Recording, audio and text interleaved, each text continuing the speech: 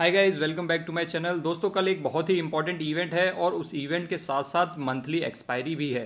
तो जब ये दोनों इवेंट एक साथ मिक्स किए जाएँगे तो आपको बहुत बड़ा भूचाल देखने को मिल सकता है। उस इवेंट का नाम है एजीएम ऑफ़ रिलायंस ये हर साल होती है इनकी एनुअल जनरल मीटिंग और ये फोर्टी फोर्थ होगा। इसमें आपको बताया जाता है कि कंपनी की कैसी परफॉर्मेंस रही है पिछले साल में और उसके साथ साथ ये भी बताया जाता है कि कंपनी आगे के ग्रोथ प्लान्स के बारे में क्या सोचती है फ्यूचर में क्या करने वाली है, ये सारी बातें डिस्कस की जाती हैं। और इसकी शुरुआत होगी कल दो बजे से। तो आप सोच सकते हैं कि मार्केट आवर्स में जब इसकी शुरुआत होगी तो आपको काफ़ी बड़ा इम्पैक्ट मार्केट में देखने को मिल सकता है।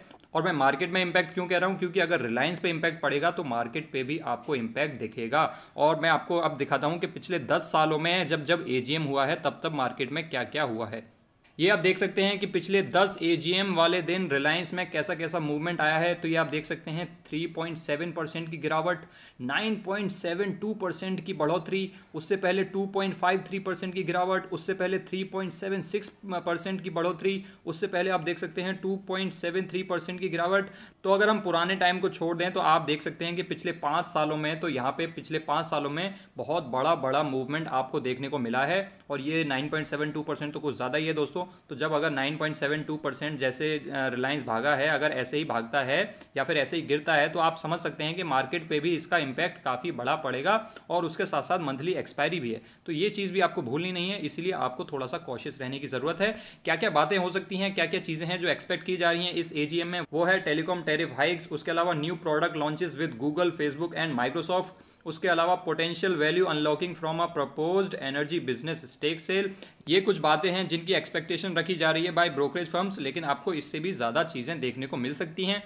अब क्विकली एक डिलीवरी परसेंटेज पे नज़र डाल लेते हैं। आज की डिलीवरी परसेंटेज है 52 परसेंट जो कि काफ़ी अच्छी खासी है। 52 परसेंटेज की डिलीवरी हुई है आज, जो कि बहुत ही अच्छी डिलीवरी परसेंटेज है। अब थोड़ा सा इसको चार्ट पे अगर देखें दोस्तों तो रिलायंस को अगर आप चार्ट पे देखेंगे तो आपको दिखेगा कि रिलायंस में जब लगातार डील्स पे डील्स हुई थी, ये जो बड़ा गैप दिख रहा है, यहाँ पे एक फेसबुक के साथ डील हुई थी, और उसके बाद तो ये स्टॉक रुका ही नहीं था, और उसके बाद लगातार ये स्टॉक भागता गया था, लेकिन यहाँ पे भागने के बाद उस टाइम से बिल्कुल ही शांत पड़ा है, जबकि मार्केट कहाँ तेरह हज़ार, चौदह हज़ार, पंद्रह हज़ार सबको पार करते हुए सोलह हज़ार पे खड़ी है। ये स्टॉक बिल्कुल भी मूव नहीं किया है और ऐसा लगता है कि ये जो इवेंट आ रहा है, जो कि इतना बड़ा इवेंट है this might just trigger some movement in Reliance इससे रिलायंस में कुछ ना कुछ मूवमेंट ट्रिगर हो सकता है। अब वो मूवमेंट हो सकता है ऊपर की साइड हो या फिर नीचे की साइड भी हो सकता है। ये तो डिपेंड करेगा कि कल एजीएम में क्या बातें होती हैं।